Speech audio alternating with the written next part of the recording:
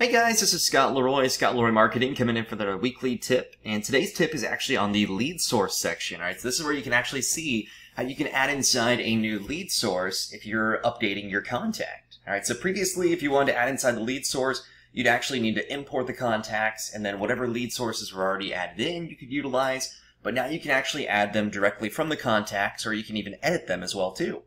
So in order to add one from the contacts, I'm going to click on the contacts option up here at the top left inside command. Alright, so we'll click on that contacts option. Alright, and we're just going to add a contact like we normally would. So we're going to click that add contact button up here at the top right.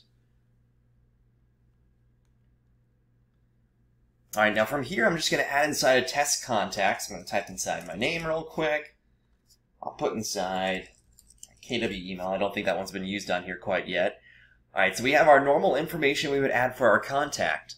Now, in order to add inside the lead source, though, just click on Add More Information. And once you do that, you can click on Sales Pipeline. Alright, so we can click on the Sales Pipeline option. Now, this is going to be the same editing option that you'll have if you're editing a contact directly. Alright, we just did a tip uh, a couple minutes ago, actually, if you're watching this one second, alright, of how you can actually edit that contact directly for the lead source. But this is how you can actually add it right from the home page. Alright, so now if I click on select lead source, I can search for the different lead sources that I want to. So I can even search for, you know, the one that I just created, SLM lead. Alright, or I can go through here and I can actually type inside a new lead source. So maybe this came over from, you know, open house.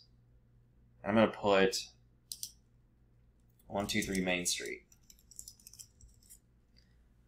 All right, now once I add that in, so maybe I want to put this as the lead source that it came from that open house directly, I can click create lead source, and as you can see, it's created it.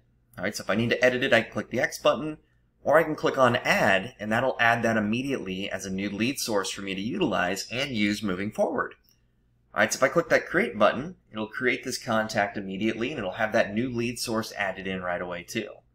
Alright, so it'll be that simple to actually utilize everything on here. So let me see if I can search real quick for this.